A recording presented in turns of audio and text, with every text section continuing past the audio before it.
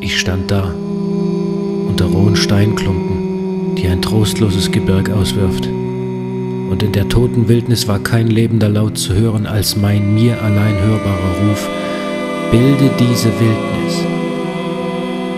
Die Fantasie ergriff diesen Ruf, und kaum angefangen stand das schöne Bild einer blühenden Landschaft vor mir da.